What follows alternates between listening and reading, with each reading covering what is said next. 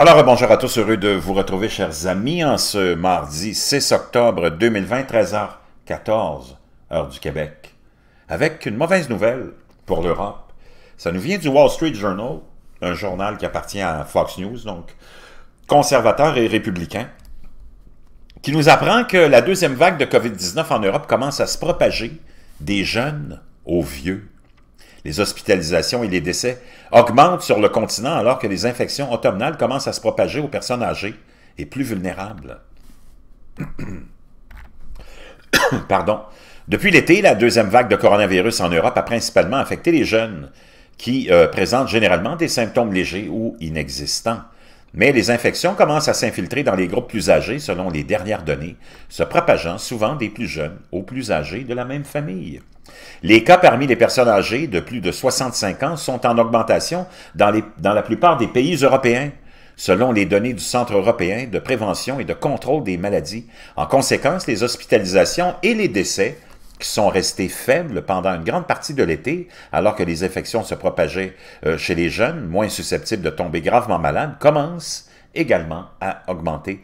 De nombreux pays européens enregistrent euh, désormais plus de cas qu'au printemps mais c'est en partie à cause d'une meilleure détection.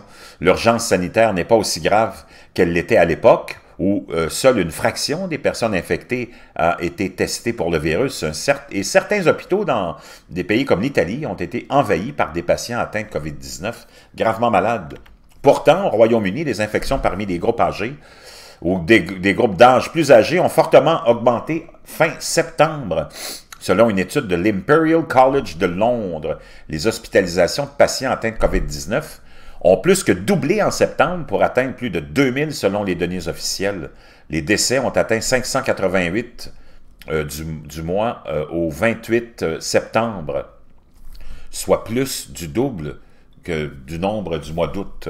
En Espagne, qui peine à contenir l'une des plus grandes épidémies d'Europe. 547 personnes sont décédées au cours de la seule première semaine d'octobre. Dans la semaine qui s'est terminée le 1er septembre, par comparaison, seulement 159 étaient décédés.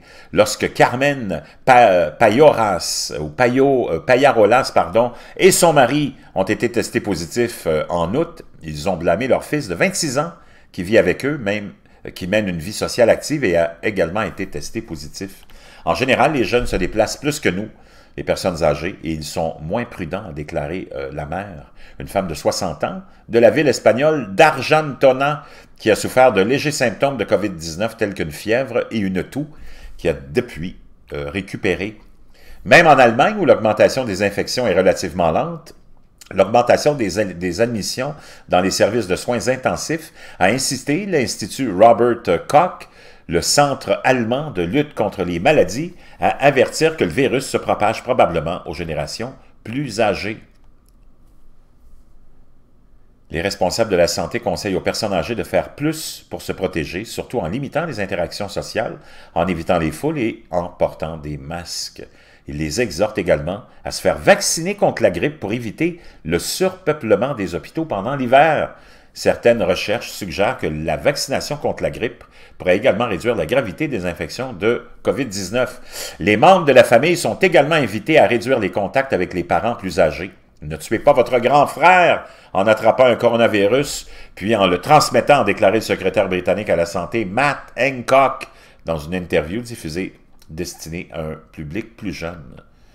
Quant à Vittoria Rosso, euh, euh, quand Vittoria Rosso pardon, a découvert qu'une amie qu'elle avait récemment rencontrée pour boire un verre avait été testée positive.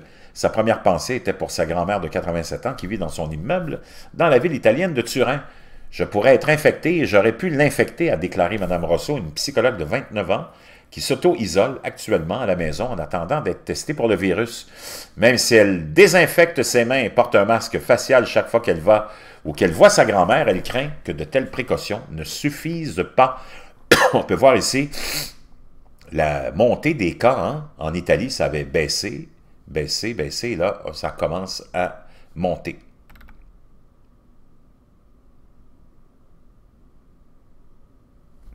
Donc, on vient, revient de recevoir une nouvelle ici de Minnesota qui nous dit qu'on a des cas records all-time high of COVID-19 infection from unknown sources. Donc, un record de tous les temps d'infection de la COVID de sources inconnues. Donc, ça va pas bien non plus là-bas. En Italie, l'âge médian des personnes nouvellement infectées, on peut voir hein, l'âge euh, augmente. Les personnes de plus de 50 ans représentent plus d'un tiers de ces cas détectés récemment selon l'Institut national italien de la santé. La plupart des nouvelles infections se produisent au sein des ménages.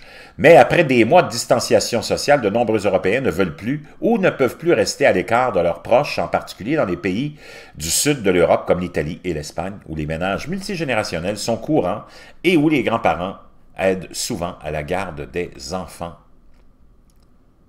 une femme qui rentre chez elle à Turin. Wow, hein? quel état, euh, c'est assez pauvre hein, comme secteur. Euh, Manuel Jiménez, un retraité de 73 ans qui vit près de Barcelone, évite les endroits bondés et fait les courses tôt le matin quand il y a moins de monde, mais il va toujours chercher son petit-fils à l'école la plupart du temps. Ses parents travaillent et ne peuvent pas arriver à temps. Si je ne le récupère pas, qui le fera? Dit euh, Madame Jiménez, attendant devant l'école, devant une foule d'enfants et d'autres grands-parents. En fin de compte, la vie doit continuer, même si le virus est là. Les pays européens devraient s'efforcer de supprimer le virus dans l'ensemble de la population plutôt que d'accepter sa propagation tout en essayant d'isoler les personnes âgées du reste de la société, déclare Devi Sridhar, professeur de santé publique mondiale à l'Université d'Édimbourg. En Corée du Sud, à Taïwan et dans d'autres régions d'Asie de l'Est, le port généralisé du masque, combiné à des tests, un traçage et un isolement efficace des porteurs du virus a réduit la contagion à un faible niveau, dit-elle, rendant la vie quotidienne plus sûre pour tous, y compris les personnes âgées. Nous nous concentrons sur les mauvaises choses, déclare le professeur. L'Asie se concentre sur la manière de supprimer ce virus le plus efficacement possible. Nous, nous nous concentrons sur la manière de couper une partie de la société. Les maisons de retraite européennes ravagées par le virus au printemps s'efforcent particulièrement de protéger les personnes âgées en les isolant, mais cela fait un lourd tribut psychologique et sur de nombreux résidents. Dans certaines régions d'Italie, les résidents des maisons de retraite n'ont pas été autorisés à sortir pendant des mois, même pour de courtes promenades.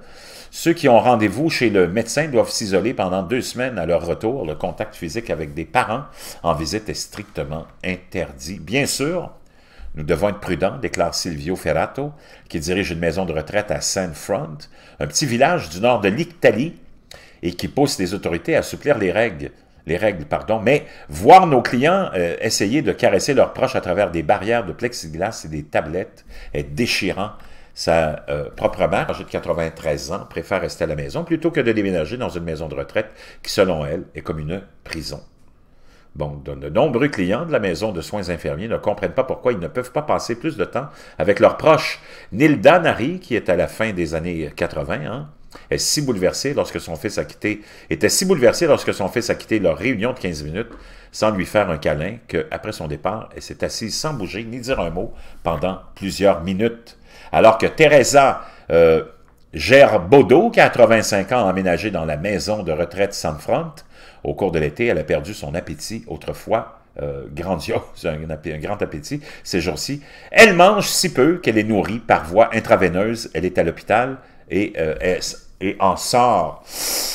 Sa fille, euh, Franca Bouffa, a peur que sa mère abandonne la vie. C'est dévastateur. Je suis à la maison. Le cœur brisé parce que je sais qu'elle est seule, dit-elle. Les personnes âgées, comme sa mère, se laissent aller comme si elle ne voulait pas se battre. COVID peut également tuer indirectement. Vraiment, c'est pas un maudit cadeau. On en est rendu là. Et en Europe, la deuxième vague commence à se propager des jeunes aux vieux.